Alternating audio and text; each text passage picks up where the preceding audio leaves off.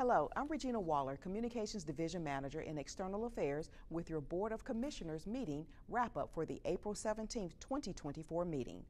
Board members unanimously approved to restore animal control services to the City of Atlanta. The vote comes after receiving a signed intergovernmental agreement for animal control services.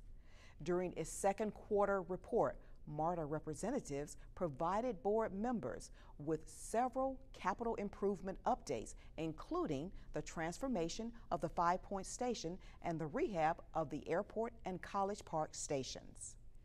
In a majority vote, the board approved Kathy Woolard, former chair of the Fulton County Board of Registration and Elections, to once again serve in that role.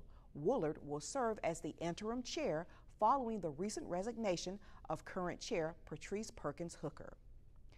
Board members voted unanimously to approve a $100,000 contract between Community Development and with Destination Tomorrow, a nonprofit agency that will provide HIV testing and other services.